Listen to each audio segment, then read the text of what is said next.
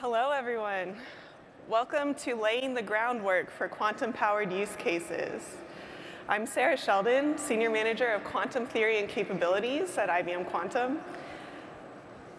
Today, I want to show you some of the remarkable work that researchers at IBM and many other organizations are doing with utility-scale hardware. As you heard this morning, Uh, we have now entered a new era of quantum computing where noisy quantum devices are able to produce accurate expectation values in regimes that are beyond brute force classical computation. We believe this is a new era of exploration, and we can start to think about quantum computers as a valuable tool for doing scientific research. But this raises an important question, namely, what can I actually do with a utility scale quantum computer? We have always said that there are two steps to achieving quantum advantage. First, we have to get to larger circuit sizes, and then we have to map those circuits onto relevant use cases. But making that leap from circuits to use cases remains a challenging problem. So today, we're going to talk about some of the work we've been doing alongside our clients and partners to create the building blocks that will help us bridge that gap. Part of this is breaking down problems into the Qiskit patterns, our four-step process for running problems on a quantum computer. You've already heard from Blake today about how we're doing this by improving our performance in step two, where we optimize quantum inputs, and step three, where we execute our circuits using Qiskit runtime primitives. In this session, we're going to look at 13 demonstrations, an actual baker's dozen of demonstrations that show how IBM and other research organizations are optimizing components in step two through different kinds of error mitigation techniques or circuit optimizations. We'll also see examples of how we're adding in additional resources for step four, where we post-process results classically.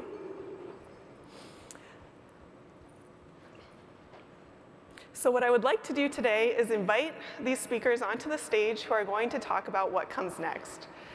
These speakers will focus on three key research threads, all of which are helping to expand what we can do with utility-scale quantum computers today. First, we'll hear about how we're extending circuit volumes and going to different circuit structures. Then we'll hear about new capabilities we're developing that incorporate dynamic circuits. And finally, we'll hear about how users of our systems are optimizing circuits for use cases that have practical relevance to scientific problems. But before we dive into these three research threads, I'd first like you to hear a bit more about the results of our original quantum utility paper and the follow-up work that we've been doing since that research was first published in Nature in June of this year. So please join me in welcoming to the stage UC Berkeley PhD student Sajant Anand, who will give his perspective as a tensor network simulation expert and original author on our quantum utility paper.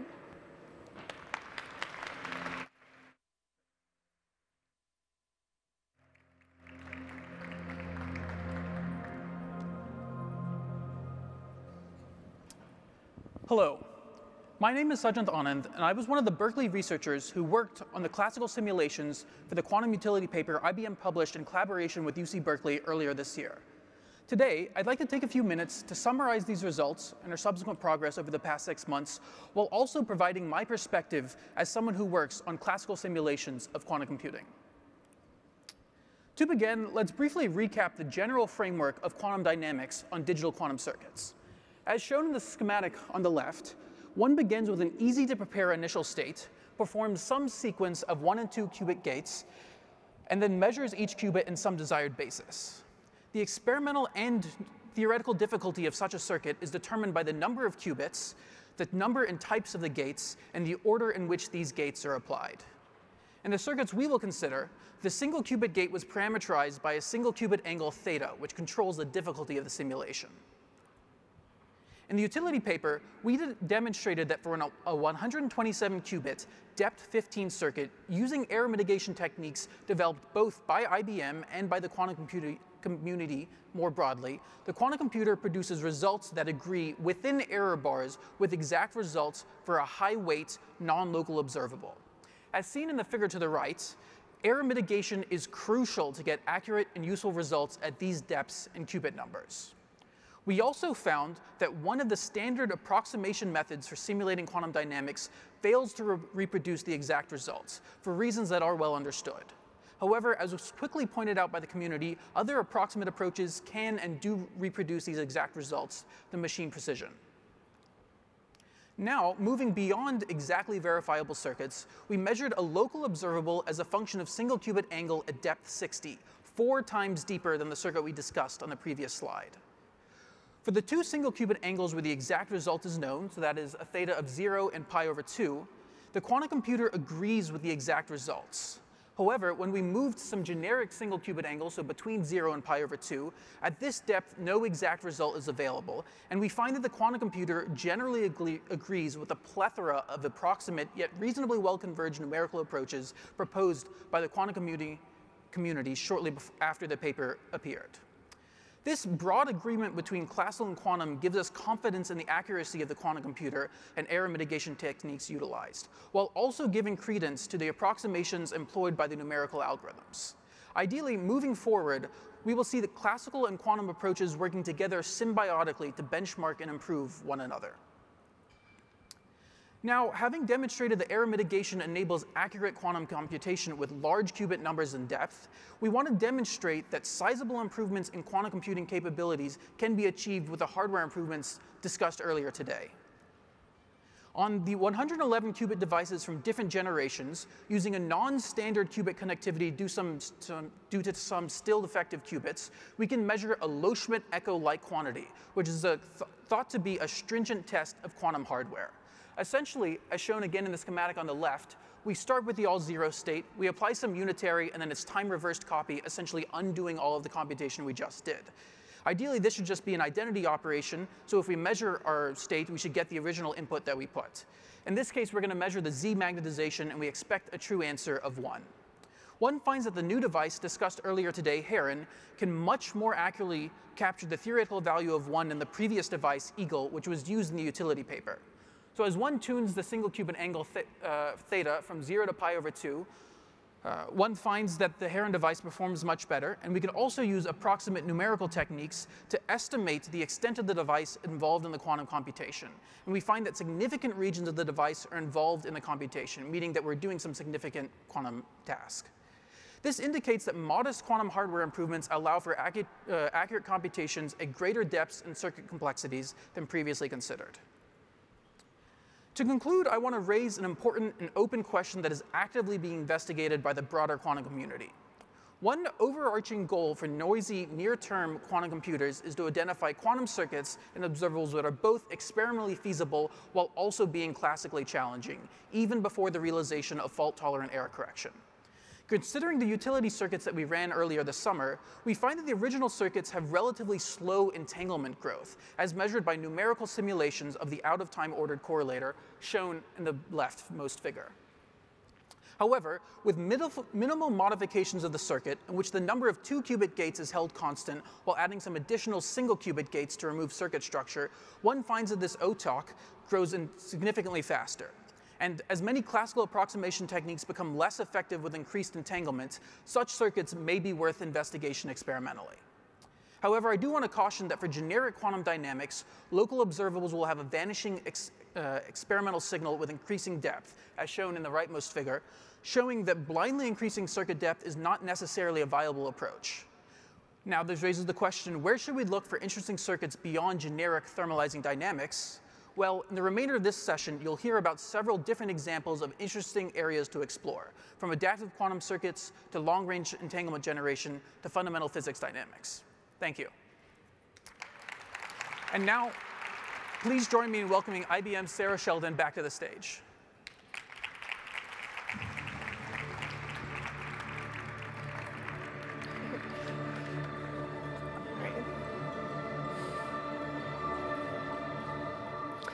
Thanks, Sajant. So as you can see, this paper was just the first evidence of quantum utility. And we've already begun to reach beyond the space, uh, into the space beyond that original paper. Uh, so moving forward, Uh, what comes next? Well, it's going to look a lot like these three research threads that I, I mentioned earlier, extending circuit volumes, incorporating dynamic circuits, and optimizing circuits for interesting use cases. So with that in mind, let's take a closer look at these three research threads, starting with the first. To do that, I am pleased to introduce a group of speakers who will talk about how they're extending circuit volumes and improving results with alternative error mitigation techniques and error suppression techniques, as well as with the aid of additional classical resources. These methods all tie directly into step two of the Qiskit patterns, uh, optimizing quantum inputs, and this plays an essential role in getting to larger problem sizes and circuits that are harder to simulate classically. Now, to start us off with a look at a new performance management solution for Qiskit runtime users, please join me in welcoming founder and CEO of Q-CTRL, Michael Biercuk.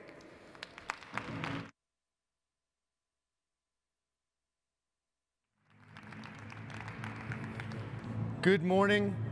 It is a real pleasure to be here. My name is Mike Biercuk. I'm the CEO and founder of Q-CTRL. And it is a tremendous privilege and honor to talk to you today about something really tremendous in our sector, a true milestone for quantum computing, introducing the world's first natively embedded performance management software for quantum computing. This is the outcome of a relationship we've had with IBM for more than five and a half years since we joined the inaugural class of the IBM Quantum Startup Network. What we have built is a completely autonomous, AI-driven error suppression workflow that goes from the lowest levels of the stack AI-based replacement of all of the native hardware machine language, all the way through to AI-driven error-robust compilation. All of these techniques are built to be interoperable. All of them are completely automated. And now they are accessible within Qiskit with one single command that you can see there. This is the first of its kind independent software vendor integration into IBM Quantum. And it's more important because of what it delivers. First, it delivers orders of magnitude of improvement.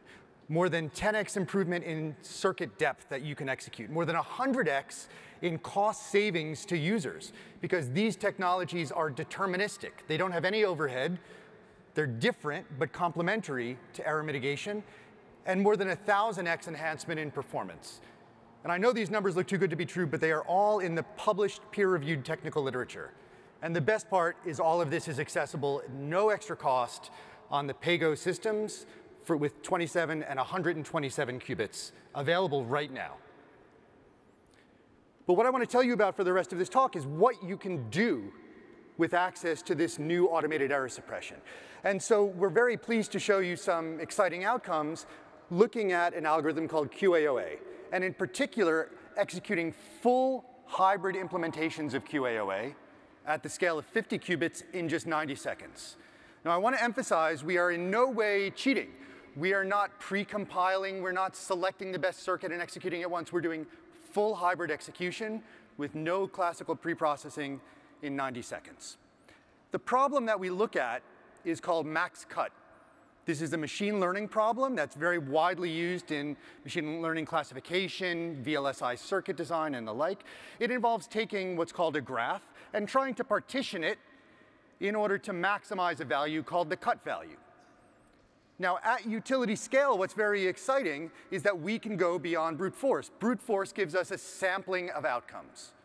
When we add QAOA, executed with the Q-CTRL Performance Management on IBM Quantum, we shift the distribution to the values that matter, the large max cut values, by more than two and a half sigma, but at the large values, the ones we care about most, the boost over brute force or the default implementation is more than 32,000 times.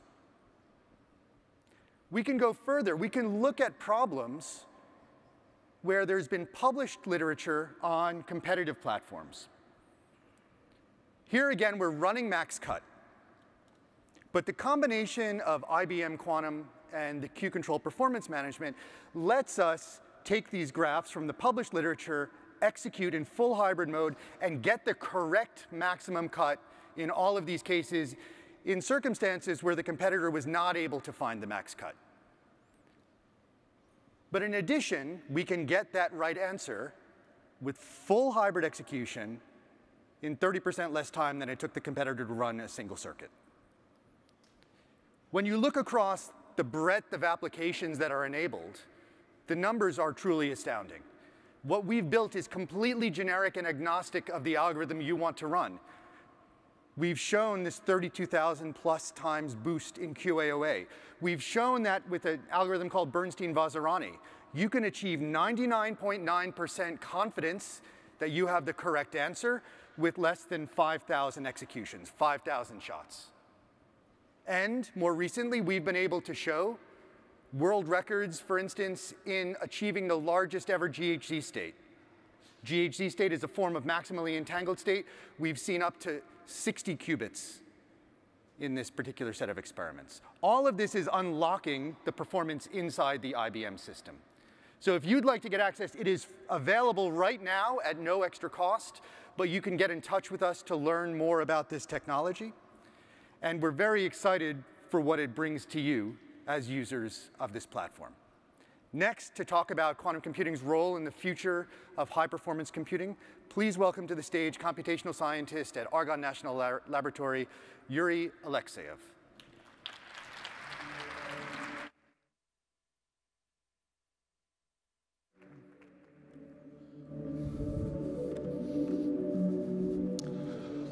Thank you, Michael, and hello, everyone.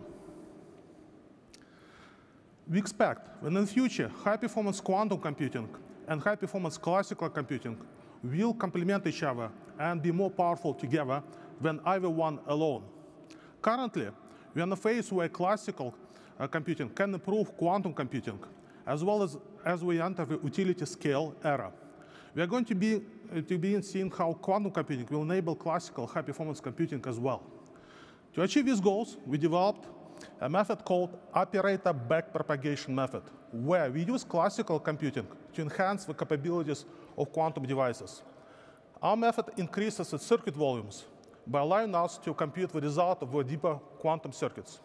To demonstrate the capabilities of our method, we use the classical supercomputer Polaris, uh, located at Argonne National Laboratory, and the 127 qubit uh, Eagle quantum device, as shown on the slides. Okay, on this slide, next slide, we demonstrated the capabilities of our method for Hamiltonian simulations using both classical computing and quantum computing. We considered utility scale circuit for Hamiltonian simulations. In the plot here, where x is unmitigated signal and y-axis is the maximum CNOT depth of quantum circuits. We are looking at the circuit depth that can achieve using a quantum device alone. So this is only just quantum devices, and given certain unmitigated signal. For example, if the error is small enough such that unmitigated signal is at least 0.8, the maximum depth is 6 CNOTs. You're looking at the left column here. But if we delegate a part of computation to classical computing, we can compute the outcome of much deeper circuit given the same unmitigated signal. For example, if unmitigated signal of 0.8 the maximum depth will increase from 6 CNOTs to 42 CNOTs. This is on the left column, it should be 42, okay? uh, this is seven times increase in the depth of a quantum circuit. This is our main result. It significantly increases, obviously it significantly increases the depth of the circuit. However, it's important to note that this improvement will show diminishing returns and the capabilities of quantum devices increase in the future. Uh, and we also note that if un unmitigated signal value of 0.4, it's enough actually to perform PEA. Okay, in this slide, we show how a uh, high-level overview of how we combine quantum computing and classical computing. Given a quantum circuit, we split it in two parts, U1 and U2, as you see on the slide. Uh, the idea is that we compute the first part U1 on a quantum device and compute the second part U2 on classically, and then stitch results together. So what we do, we start with U2 first, and then after that we compute U1. So that's why we call it backpropagation. So we start not from left, right, we start from right to left. And this is why it's backpropagation. Okay. Hmm. In particular, for U2 computation, we use our method to figure out a new observable O prime obtained from a similarity transformation of original O observable. Measuring O prime on quantum device is equivalent to measuring the original observable O. The computation of O1 is generally very, very computationally expensive. And this is where we leverage the power of classical computing to our advantage. It's important to mention that we, there are several different methods uh, to perform op uh, operator backpropagation. For this project, we used Clifford and Tensor Network quantum circuit simulators.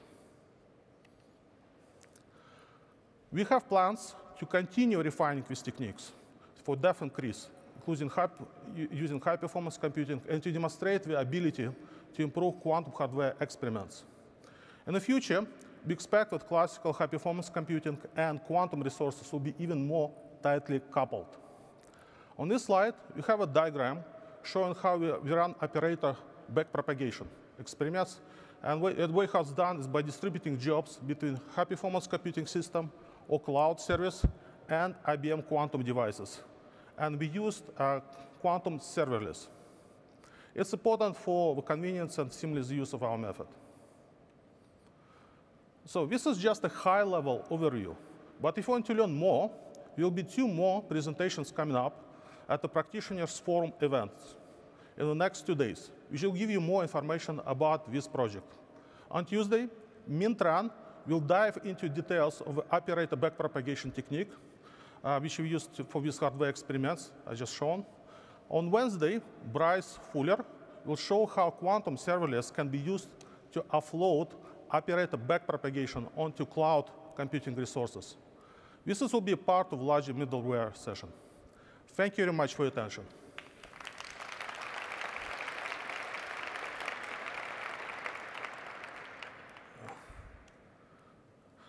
Okay. And now, I'd like to welcome to the stage uh, Sabrina Maniscalco.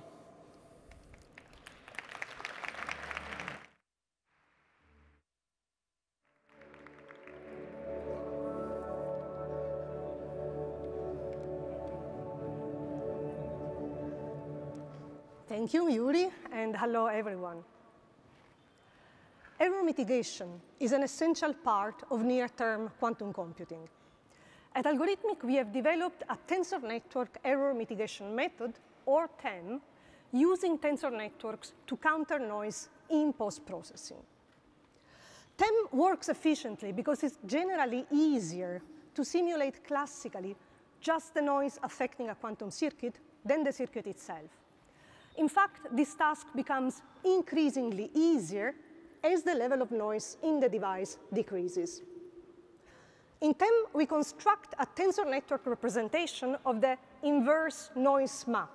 This is the quantum map that when applied to the state produced by the noisy circuit gives as an output the ideal noiseless state.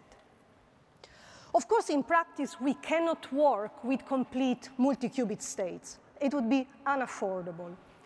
What we use instead are informationally complete generalized measurements. These form a seamless interface between quantum and classical computers. We can simply feed the outcome of the noisy devices into the tensor network codes to produce mitigated estimates of observables of interest. This allows us to bypass the unsurmountable measurement cost of working with multi-qubit states. And in fact, one of the main advantages of TEM is in its measurement shot efficiency. We can prove that with respect to other state-of-the-art methods, TEM has a measurement overhead which is quadratically smaller, and also it is very robust, more than zero noise extrapolation in the noise, in the low, signals, uh, oh, low signal to noise ratio regime. In order to test them on hardware, in collaboration with uh, the group of John Goold at Trinity College Dublin, we have identified as ideal testbed the kicked Ising model in transverse field. This is a model that exhibits indeed interesting features, both from physical and from computational point of view. We study the system at infinite temperature, and in particular, the two-time dynamical correlation function, because this is the key quantity to understand transport in condensed matter systems. Since it's a discrete dynamics model, its circuit implementation is exact. Moreover, the same circuit structure can be used in different parameter regimes. In one limit, the circuit is so-called dual unitary, it is classically simulable and exactly solvable. And this is ideal to understand and verify that the noise um, mitigated results are actually correct. However, with different model parameters, and hence single qubit gates in the circuit, the model becomes non-integrable and the dynamics difficult to simulate classically both in the Schrodinger and in the Heisenberg picture. This is the regime where quantum computing can unveil new physics. We have recently tested TEM on hardware in collaboration with a group of Ivano Tavernelli at IBM Zurich. and we have simulated the model at the dual unitary point, uh, where it is simulable and solvable, we're using 50 active qubits and computing the two-time dynamical correlation function that you see here in the slide. In practice, 18 more qubits were used to reduce crosstalk effects. The maximally mixed state was produced via sampling uh, in the computational basis states on all qubits but one. We consider four different time steps, time equal to 0, 17, 33, and 49 in the dynamics, with corresponding circuit depths between 0 and 98 layers of CNOTs. The deepest circuit that you see here in the, in the slide contains 2,402 CNOT gates. The expected signal in the ideal case is rather simple. The correlation function should vanish everywhere except on the light cone. That is on qubit 17, at time step 17, 33, and at 33, and so on, where its value should reach 1. So in this plot, you should see peaks reaching one for those qubits. However, due to the presence of noise, the signal decays. And in particular, in the last point, point 49, the expectation value nears zero, becoming practically indistinguishable from the background qubits.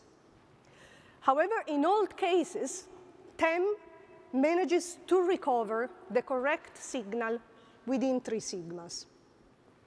Of course, the error increases, the error bars increases for increasing circuit depths, which is expected because the signal becomes increasingly noisier.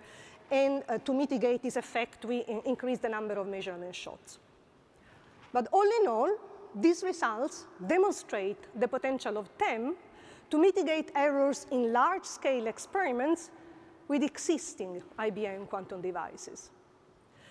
With them, we expect to seize quantum utility for real use cases in the near future. Thank you for your attention.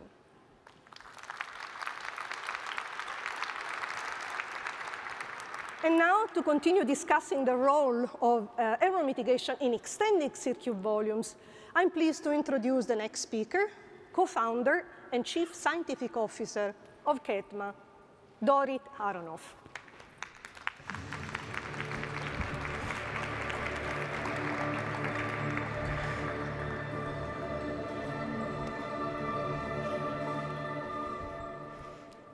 Thank you, Sabrina.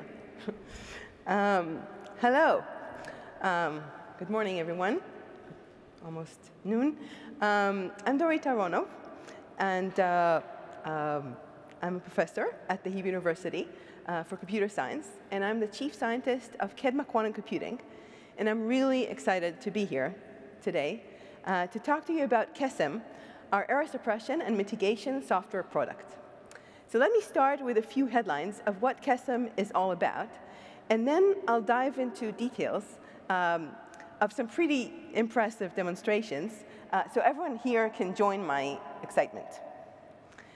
Um, so first, QESEM is a software that makes your quantum algorithm run as if the quantum hardware is noise-free. In other words, Qedma's software essentially eliminates the major problem of noise when running these quantum algorithms on current devices.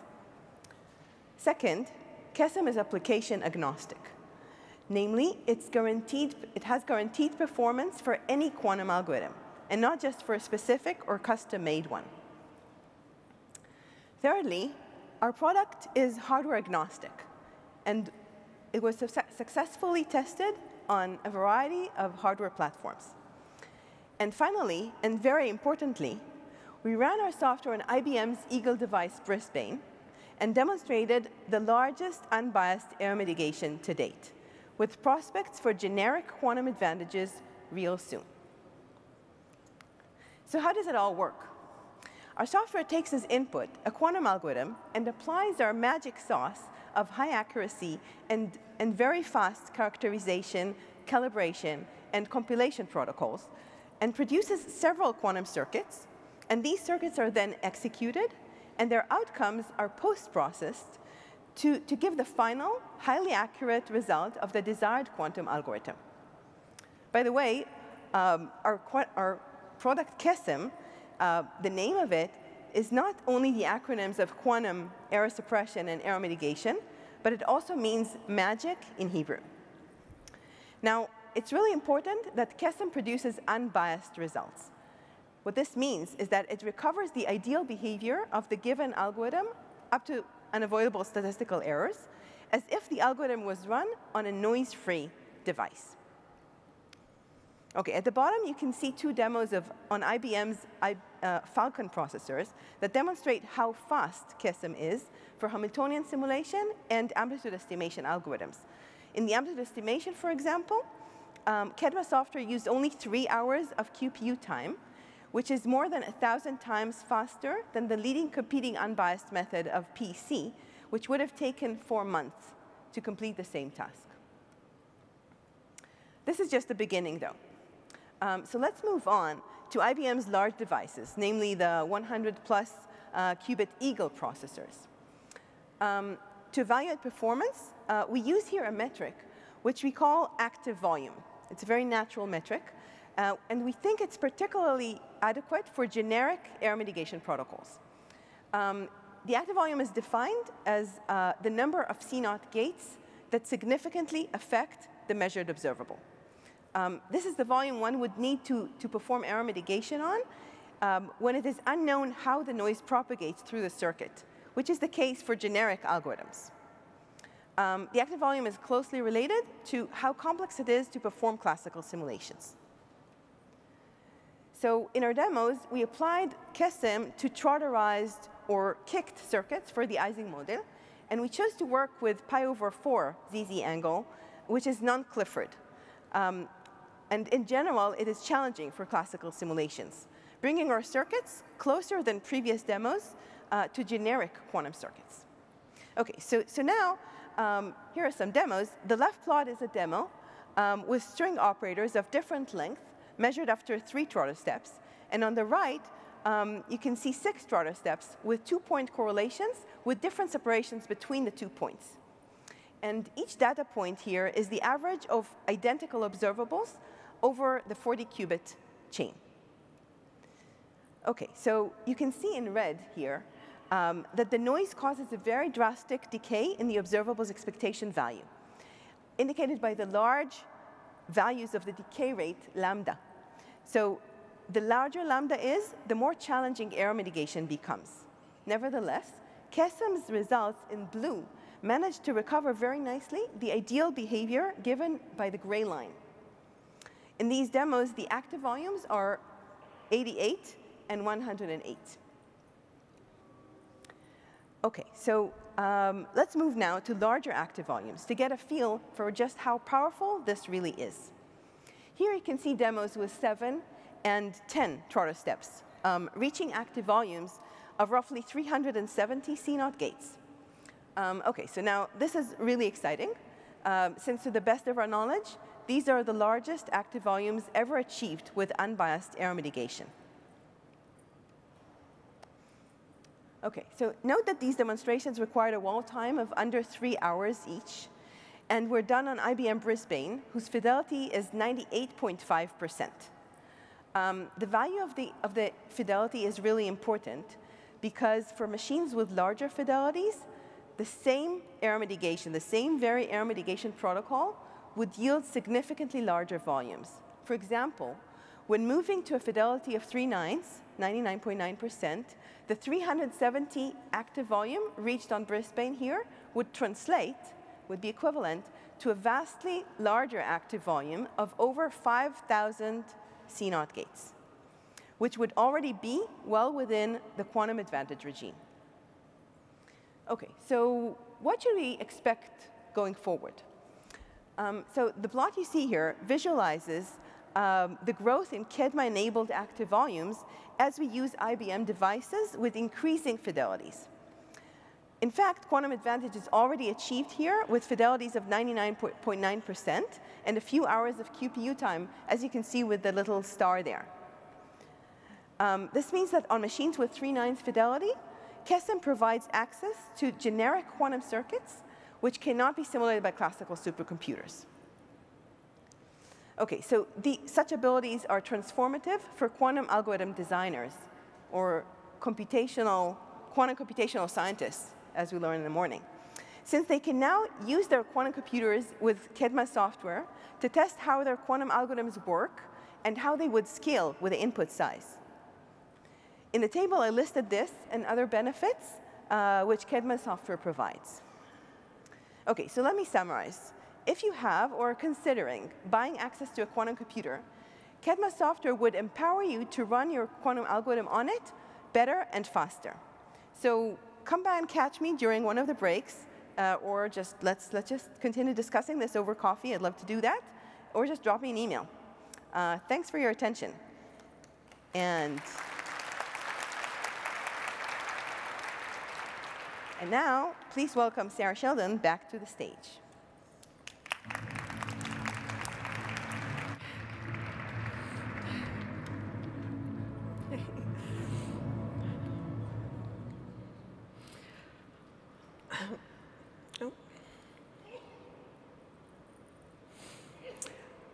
All right. Uh, uh, thank you, Dorit, and thank you to all of our speakers of this first uh, research thread.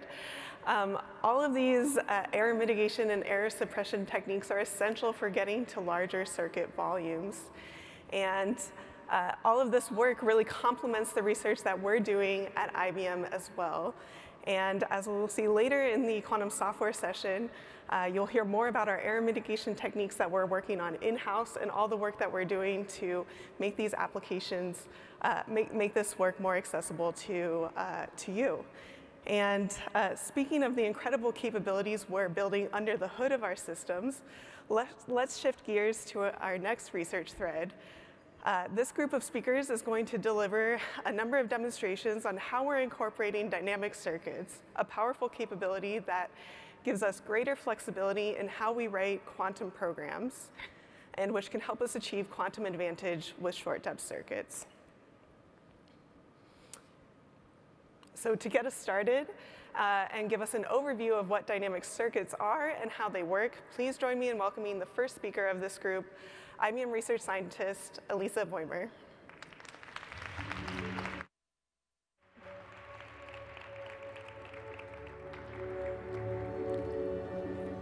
Thanks, Sarah, and good morning, everyone. Before diving into the application of dynamic circuits, let us quickly discuss how dynamic circuits differ from regular quantum circuits and why they are useful. So a regular quantum circuit is a sequence of unitary gates acting on qubits, followed by measurements in the end. Dynamic circuits are quantum circuits with some additional features. First, mid-circuit measurements, which allow to measure our qubits not only in the end, but at any time in between. Second, we can perform classical calculations in real time based on the measurement results of such mid-circuit measurements. These are subroutines in many quantum algorithms and will ultimately be essential for future error correction protocols. But the benefit of calculating in real time comes with a third feature, which allows to apply feed-forward operations meaning that we can apply any gates conditioned on the outcomes of our classical calculations within the coherence time of our qubits. But why is that actually beneficial? A famous application that requires dynamic circuits is quantum error correction, where they enable to detect errors in real time and directly correct them to continue the quantum algorithm. Dynamic circuits are also required for interactive protocols, verifying a quantum computational advantage, as well as convolutional quantum neural networks. In this session, we will also see its advantage for circuit knitting, which includes techniques that allow partitioning of large quantum circuits into subcircuits that fit on smaller devices, as well as for preparing certain highly entangled states for quantum simulations to describe, for instance, quantum phase transitions. In the following, I will focus on the creation of long-range entanglement, where we use the fact that classical calculations and feed-forward can also be used as information transfer to spread correlations faster. This allows dynamic circuits to establish entanglement between arbitrary qubits in a shallow quantum circuit. But why do we care about long-range entanglement? The creation of long-range entanglement is a task at the heart of every quantum algorithm. Algorithms usually start with the preparation of states that possess multipartite long-range entanglement and then require many long-range entangling gates due to the constrained local connectivity of the quantum processors. As you will hear more about state preparation later, let us focus now on the latter task and take as an example the CNOT gate teleportation. The goal here is to apply a long-range CNOT gate over a 1D chain of n qubits that are subject to nearest neighbor connections only. The standard way of using only unitary gates would essentially require to swap the two outmost qubits all the way to the middle, thus requiring a circuit depth that scales linearly with the number of qubits n. Using dynamic circuits, however, we can teleport the gate in constant depth, which means that the time it takes to perform this task does not increase with the number of qubits. Thus, especially as we are scaling up, we can see a drastically improved circuit depth. Now let's take a look at how this theoretical concept performs in practice. In our experiment, we have teleported the CNOT gate using up to 101 qubits across an entire quantum processor, benchmarking the performance of dynamic circuits against the most competitive unitary ones. While we can see that the unitary implementation in light blue yields better fidelities for less than approximately 10 qubits, dynamic circuits, here shown in pink, quickly outperform it as we increase the number of qubits. This shows that over large distances, CNOT gates are indeed more efficiently executed with dynamic circuits than with unitary ones. Using this positive result, we propose as an outlook to use gate teleportation as a workaround to enable effective all-to-all -all connectivity for limited connectivity large-scale devices by connecting all system qubits, shown in pink, with each other via a bus of ancilla qubits, shown in light blue. This would offer a possible solution to one of the main hindrances of current architectures. So I hope with this I managed to convince you that dynamic circuits are a promising feature to help overcome current limitations of hardware, as they could drastically improve the circuit depth, with the effect becoming more significant as we scale up the number of qubits. Thank you.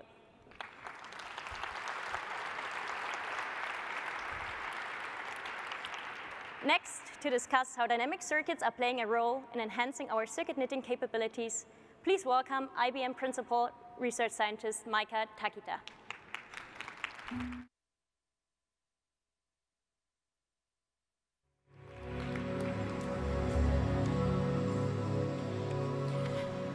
Thanks, Elisa. Hi, everyone. Today, I'm going to introduce a new circuit knitting technique that incorporates dynamic circuits. Circuit knitting is a set of technique that employs multiple circuits and classical post-processing. In particular, I'm going to talk about a technique called gate cutting, which allows us to use virtual gates to simulate non-hardware native topology and even systems with more qubits than physically available on a single device at the cost of simulation overhead. Imagine you have a target topology you want to simulate. Here's an example graph with 103 nodes with periodic boundary conditions. This would fit on a single IBM Eagle processor, but it requires few long-range gates. You can enable these long-range gates using swap gates or by teleporting a two-qubit gate with dynamic circuits, as Elisa described earlier. Here, we show that we can implement a virtual gate with quasi-probability decomposition, where you can decompose a quantum channel into a sum over quantum channels that only uses either local operations or the combination of local operations and classical communications, which is enabled with dynamic circuits. This technique using local operations has previously been demonstrated, but here I will demonstrate a new technique using classical communication that was introduced by our fellow IBMers. Gate cutting protocol with LOCC involves a gate teleportation circuit, that same kind of circuit you would use for long-range entanglement, where you consume a bell pair. Here, instead of the actual bell pair we see here in green, we use cut bell pair factory. In this example, we can rebuild two bell pairs by running 27 different circuits of this form. Now, Using this protocol to verify the methodology, we created a graph state and checked entanglement witness on each of the edges. We claim success when the witness W is negative, which signifies an entangled state. Looking back on the target graph, we compare three methodologies. The first, the dropped edge case, which generates a very similar but not quite the target graph. This only uses three layers of two qubit gates, but does not connect these four pairs of distant qubits. Full graph generates the target graph, but it requires many swaps. Finally, we implement virtual gates using LOCC, and only with this method, we achieve 100% success rate, observing entanglement witness across the whole graph on all 116 edges. Now, what can you do if we have two QPUs that are classically coupled? By using circuit knitting with LOCC, we can now generate a graph that has more qubits than we would have access to in a single device. Creating this 134 node graph is not possible on an individual Eagle processor, even if we allow many swaps. We show that we have 100% success rate with LOCC succeeding in all 143 edges, whereas this would be impossible with other methods. Dynamic circuits gives us new capabilities in gate cutting, where we can generate simultaneous bell pairs efficiently to be consumed in the teleportation circuit. With this new, te new technique, we can start imagining more use cases where the problem doesn't map on an available topology or doesn't fit on a single device. Thank you.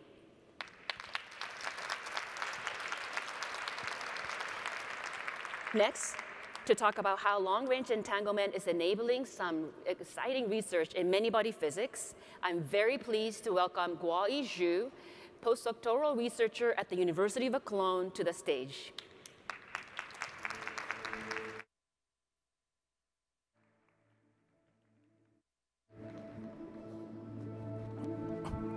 Thank you, Maika. Hello, everyone. I'm Guo-Yi Zhu from the University of Cologne. Now, let me guide you through a useful case of applying the IBM quantum processor to study some fundamental many-body physics, an entanglement phase transition in a shallow quantum circuit. When we measure a quantum bit, it always collapses the wave function into a classical state. But if we entangle three qubits by local unitary gate, before we measure the middle qubit, we carry out a teleportation experiment, which creates a bell pair between the two distant qubits. Now, we take this as the building block and repeat it many, many times simultaneously. As a result, we can reach a glassy Greenberger-Horne-Zeilinger state, where all the qubits are entangled as a whole, forming a macroscopic Schrödinger's cat.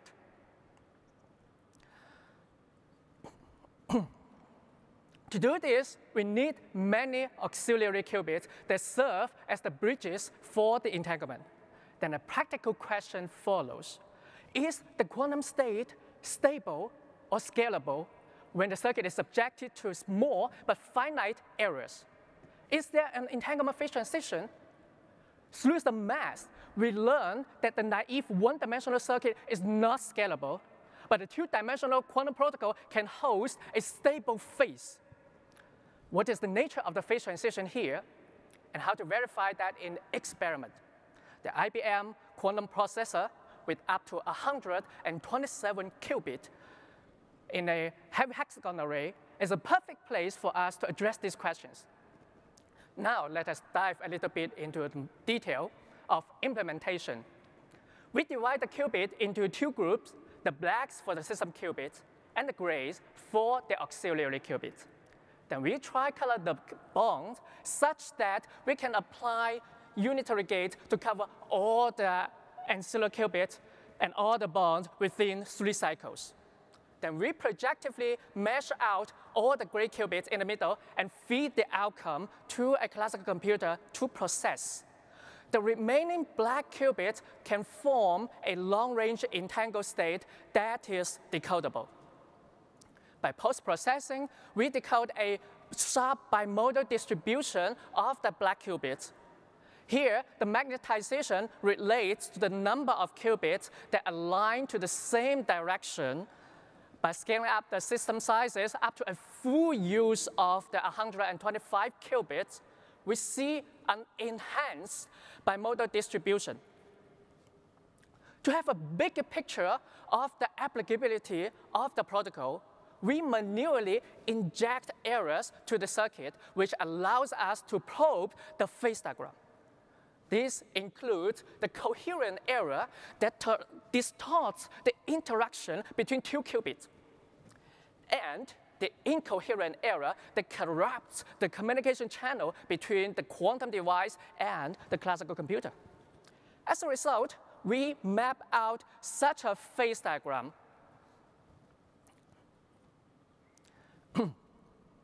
there are two remarks that follow. First, we find a line of thresholds that predicts when the protocol would fail. As you can see, the bottom right corner holds the long-range stable phase, which is at the same long-range order as the Greenberger-Horne-Zeilinger state. Unfortunately, the Sherbrooke device is below the threshold where we could succeed. Secondly, a deep fundamental physics emerges naturally as a gift to us. The quantum state is described by the same mass as the famous Nishimori line from the spin glass model. Along this line, the temperature and the randomness have to maintain a delicate balance. In the classical world, the critical point, shaded in blue disk, is a single point.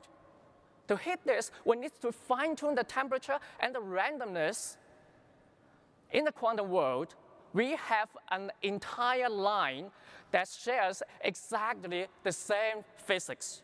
Therefore, we never miss it as long as our threshold is, our quantum device is below the threshold, such that we can cross the border and hit the criticality. Thank you for your attention.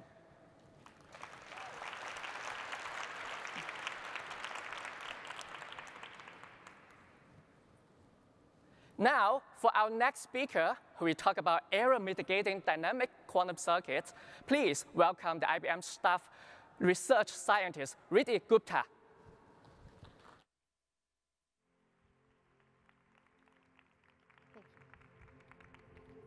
Thank you, Guo-Yi. As we've heard from other speakers, dynamic circuits are powerful and increasingly in demand for quantum computation. By using dynamic circuits, we reduce the resource cost for preparing high-quality quantum, complex quantum states.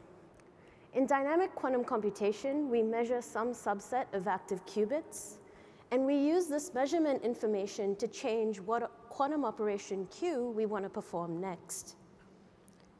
Real-time processing for this measurement information has to be fast. These feed-forward operations can only take several hundred nanoseconds, requiring extremely sophisticated control systems engineering. We face practical challenges in using dynamic circuits.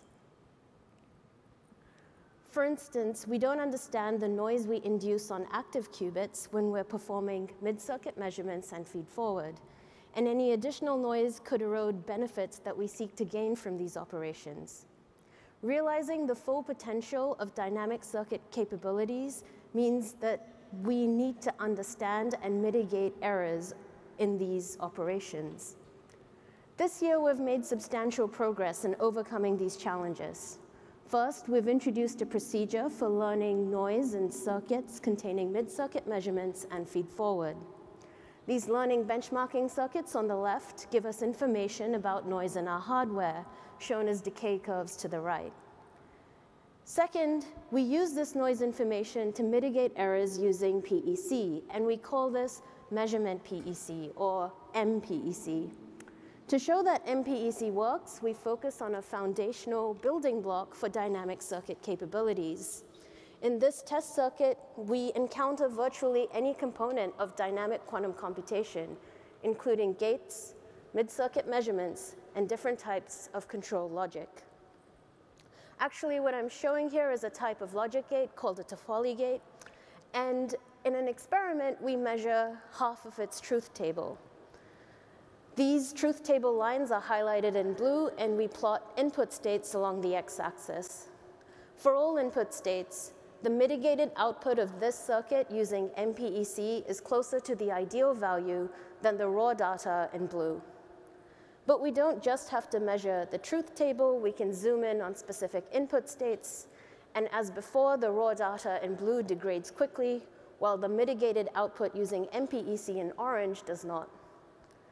We now show that MPEC can be applied to a greater qubit number. Here we prepare Bell states on 12 qubits, requiring 16 logical cases to be rapidly processed in real-time feed-forward. We also prepare a 42-qubit identity circuit with 28 CNOTs and 14 mid-circuit measurements. And as before, as we extract increasingly complicated information from left to right along the x-axis, we see that the mitigated output in orange stays close to unity, while the, blue, while the raw data in blue decays rapidly to zero. This work positions all of us to use error-mitigated dynamic quantum circuits. Thank you for listening, and I'd like to call Sarah Sheldon back on the stage.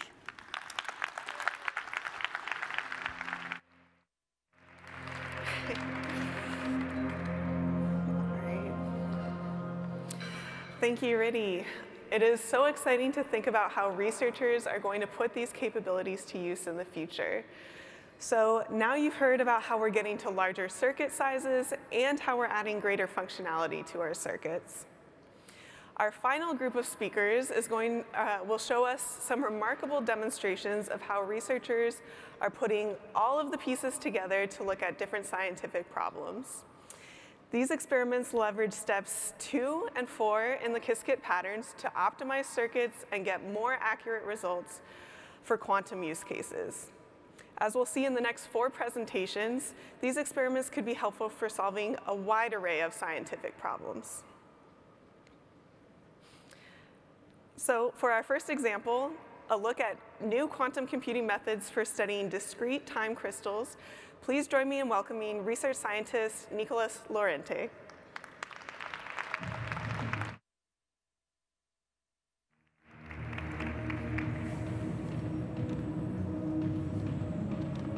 Thank you, Sarah. So our work centers on discrete time crystals in quantum systems and the exploration of disorder and many-body localization using noisy quantum computers. This work was done in the Basque country in northern Spain by myself and two of my Basque colleagues, as well as with our collaborators at IBM Quantum in Dublin and New York. Why are we interested in time crystals? Because they represent a new state of matter in the time domain. You're probably familiar with different phases of matter like metals, insulators, superconductors, but now we can also think about how matter behaves when things are changing in time. One example is when you are radiating matter. If you radiate matter in a continuous way, you expect that something is changing, and you can eventually drive your system into a new state. Now, the problem is that when you do that, you will reach infinite temperature. To avoid that, you need to reduce the number of degrees of freedom that you can access in your system. We do this through many-body localization. This is many-body localized interactions that are local and have disorders, so they cannot spread out. In this way, we can reduce the way information, interactions, energy, and eventually entanglement spreads in our system. So how does a time crystal work? The image we see on screen here helps explain what a time crystal is. At a certain moment, we have a set of magnetic moments, spin aligns in a certain direction, and then we apply a spin field, a spin field pulse that is going to set uh, to change the spins from up to down. And at the same time, we let the system relax to find its equilibrium or its steady state by being subjected to the many body localization interactions. Next, we apply another spin flip that will change the spins again and repeat the same process. What we find here is that if we separate the spin flips uh, by a time t, the actual period of your system is not t, it's actually 2t, because you need double time to reach the same initial uh, state. When we look at the signature of the system, the periodicity in time, it turns out to be double. And the frequency is half, which is what you see in this graph here. So the properties of these time crystals are that you have subharmonic dynamics, this new frequency I'm talking about. But you also have what I was talking about before, zero heating. We reach crypto-equilibrium. And the system really acts like a crystal in the sense that you have rigidity, you have temporal and long-range order. But how do we actually do this? The general idea is to introduce disorderly interactions between spins to avoid entanglement. And we need to be able to measure this entanglement to be sure that we are really creating this many-body localized state. To do this, we define a new entanglement witness, which is the quantum Fisher information. And the quantum uh, Fisher information measures how spins depend on each other. This has a, a direct representation in qubits, and we can afterwards try the system that we know is in low entanglement to try to reverse spins and create our time crystal. So the above steps are um, giving us access to um, the time crystal in a noise quantum computer, in a noisy quantum computer, and we will be able to create all these things. So the first step that we are aiming at is to produce a reliable quantum Fisher information estimation on a noisy computer. Our colleagues in Ireland and also here in New York are doing an excellent job applying their technology in Hamiltonian simulations, dynamic, dynamics particularly, to reduce the depth of the circuits that are required to produce this kind of simulation. In this graph, what you're seeing is in the y-axis, a correlator between two adjacent qubits in the middle of your 50-qubit Hamiltonian, which in this case is the Heisenberg Hamiltonian. These are the kind of results they can obtain with a new technology that enhances the typical product formulas into a multi-product formula. In black, you have the exact results for this system. And in red and blue lines, you have an order three and order two Trotter algorithm exploiting tensor networks. And you see that, of course, the order three is much closer to the true ground state. Um, in dashed lines, you have the results of a noisy quantum computer using, again, the same algorithms 3 and 2. And in purple, you have the results of the new method that approaches the true ground much more closely. So the key features on these techniques are that the error that you have in the Trotter scheme is quadratically suppressed. And we can actually have much better precision without increasing the depth. Thank you very much for your time. We are excited to show what we can do in this collaboration between the Basque Country and IBM.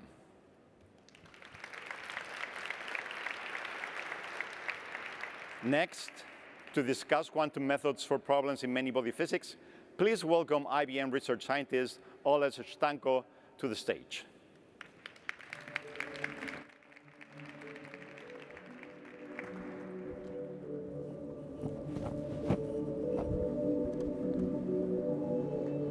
Thank you, Nicolas.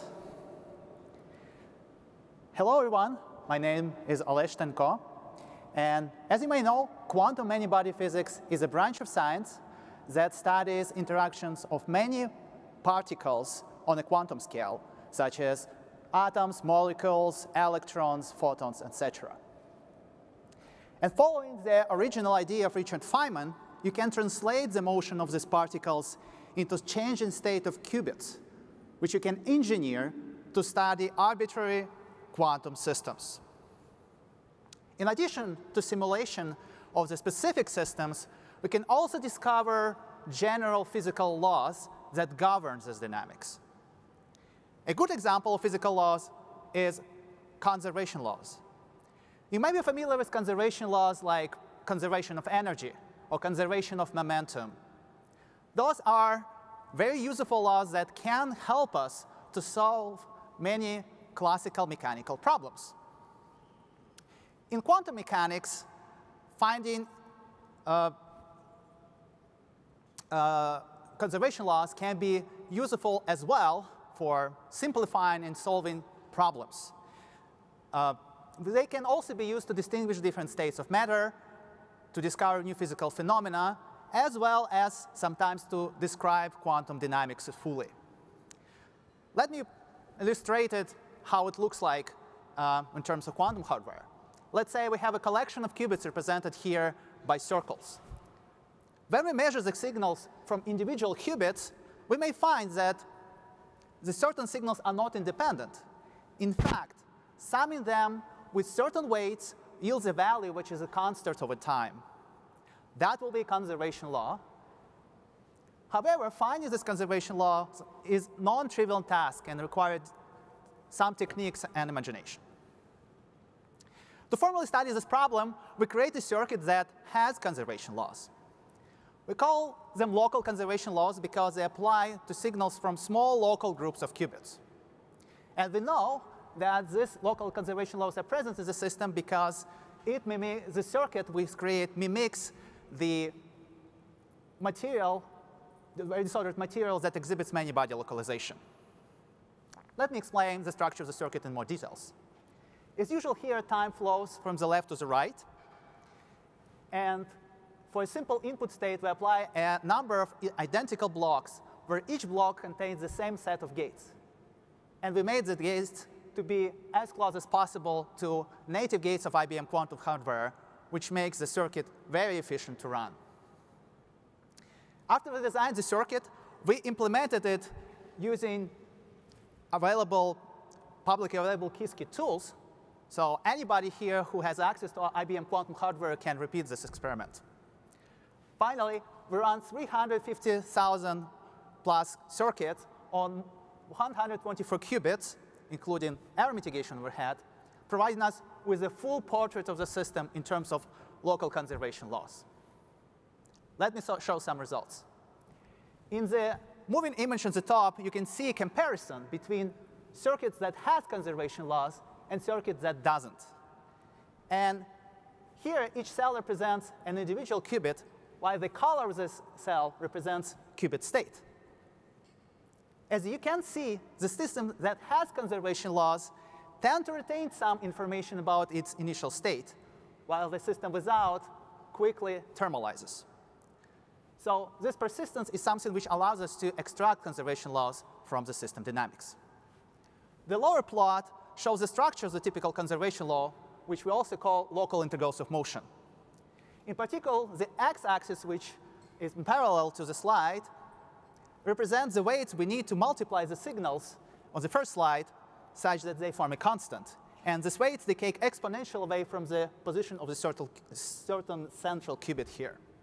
From this direction, which faces more to us, we see that the weights should decay exponentially as we sum signals from more than one qubit. There are three important results that we um, get from this studying this problem. First, we discovered a new way to learn quantum systems. This is a much more efficient alternative to process tomography in terms of number of data points we should obtain from the circuit. Second, we found a new physical predictions about two-dimensional many-body localization. Finally, during the course of this project, we discovered that these conservation laws can be used as a new method for testing the capabilities of our devices without the need of direct, uh, uh, direct classical simulation of the device. This gives us the hope that in the future, quantum computing methods like this will allow us to study the system in a way that will surpass the capabilities of classical algorithms. At this point, I would like to thank you for your attention.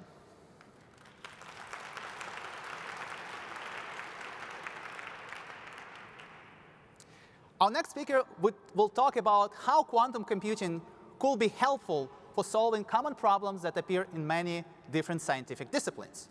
Please join me in welcoming University of Tokyo Research Associate Nobu Yoshioka to the stage.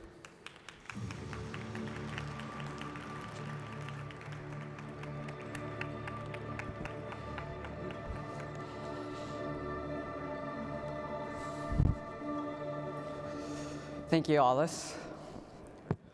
Chemical reaction rates, material science, high energy physics. What do these have in common? At the heart of these fields is a ground state problem.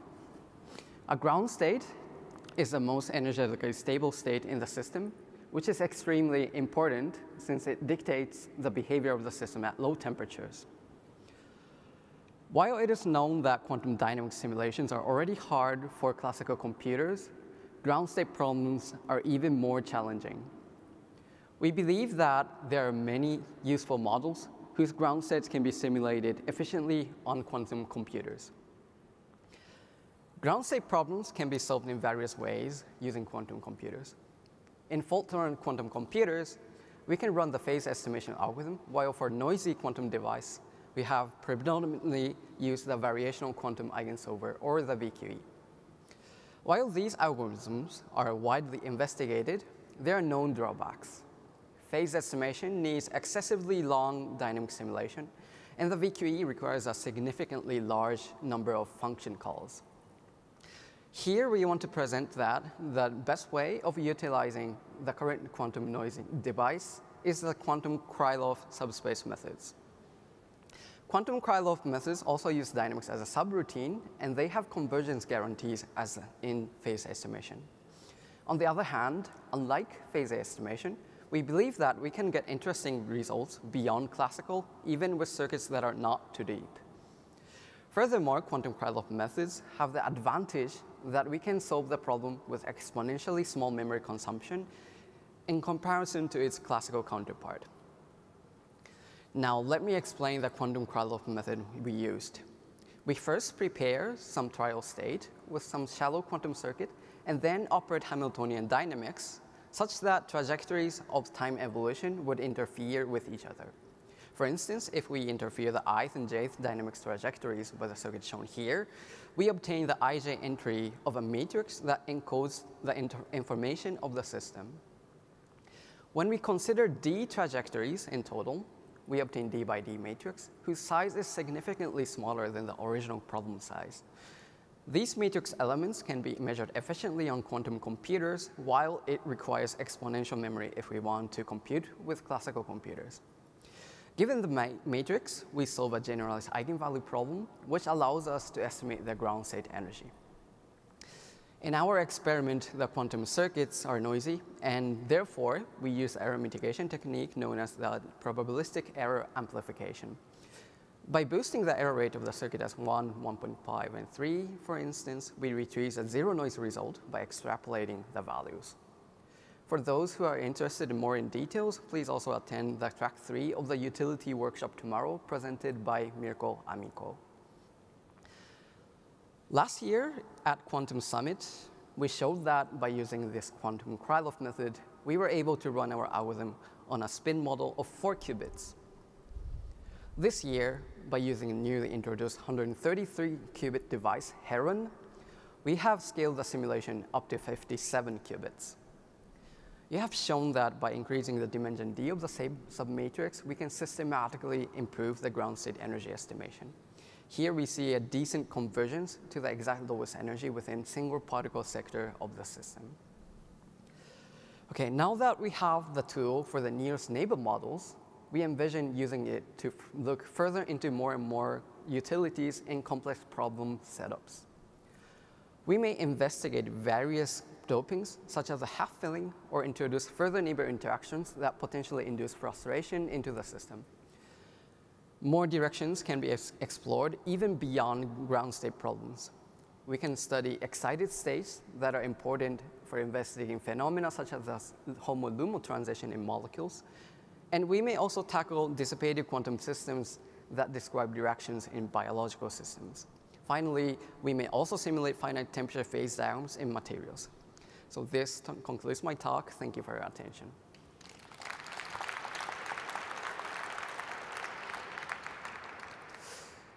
Now to discuss how quantum computing can play a role in the study of cosmology and high energy physics, please welcome University of Washington Professor of Physics, Martin Savage to the stage.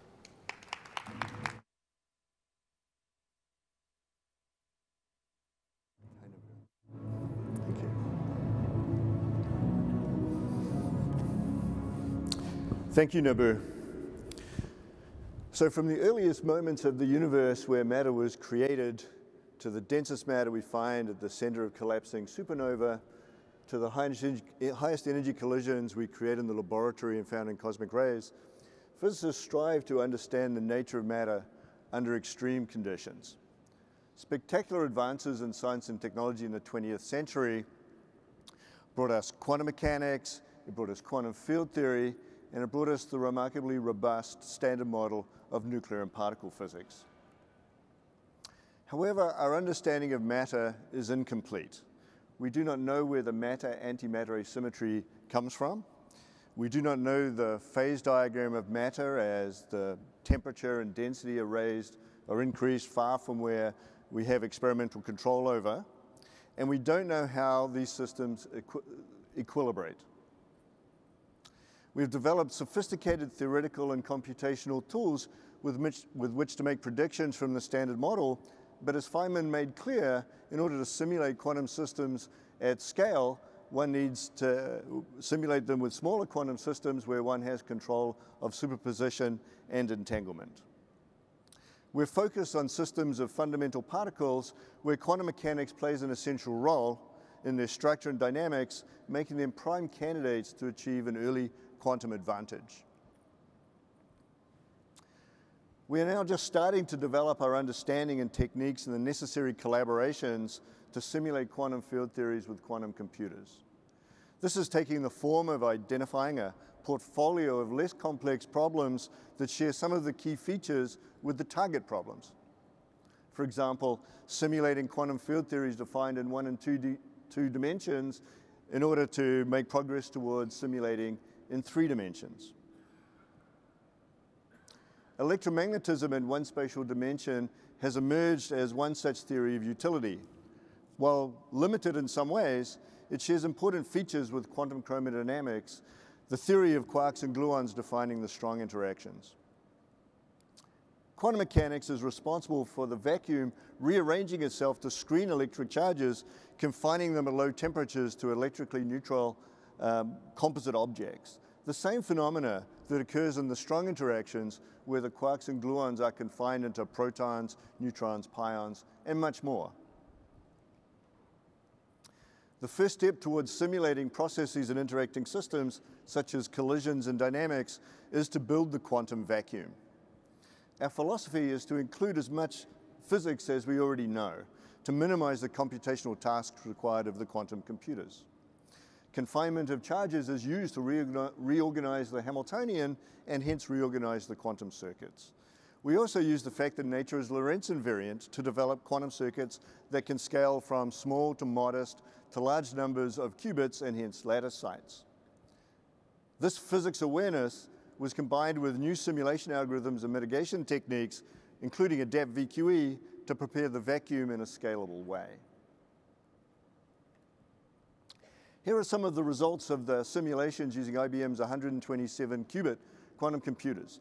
It shows the chiral condensate, or in this model, the number of particles, in the prepared vacuum. The squares show the raw results, and the points with error bars show the results after error mitigation. The dashed line corresponds to the classical expectation. It should be clear that this result, uh, uh, sorry, I should be clear that this result does not represent a quantum advantage but is an essential step on the road to achieving a quantum advantage in this theory. So what is the path forward towards a quantum advantage? We look towards the challenges faced at the highest energies and densities.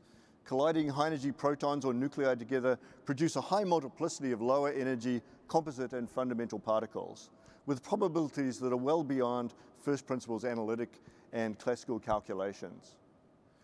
Now that the vacuum can be easily prepared, we are, we are presently at the earliest stages of creating composite particles on top of this vacuum and colliding them together. As the collision energy increases, so does the complexity of the simulation, and it eventually becomes intractable for classical computing. The lower left-hand panel shows where we are today, while the lower right-hand panel shows an event from the Large Hadron Collider at CERN, which is where we want to go to. This research area is a great example of the fact that it's a fully integrated strategic co-design effort, including high-performance computing, quantum information science and technology, and fundamental physics that is required to take us to where we want to go. Thank you.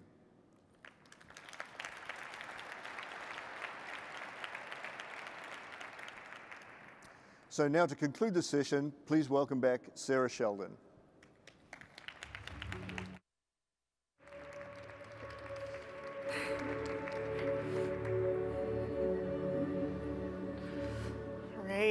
Thank you, Martin. So we've heard from a lot of different researchers in this session who are exploring what they can do with today's utility scale quantum computers. But what is the message that you should take away from these demonstrations? What do these experiments tell us about the current state of quantum computing? In the keynote earlier today, we learned that until recently, research with quantum computers was entirely focused on small-scale proof of concept experiments. But what we've seen in this session is a fundamental shift to a new era uh, in the history of quantum computing. One that challenges us to discover what we can really do with a utility scale quantum computer. We've seen researchers pushing into the 40 to 50 qubit range where classical methods begin to struggle by extending error suppression techniques and finding new ways to combine quantum and classical resources.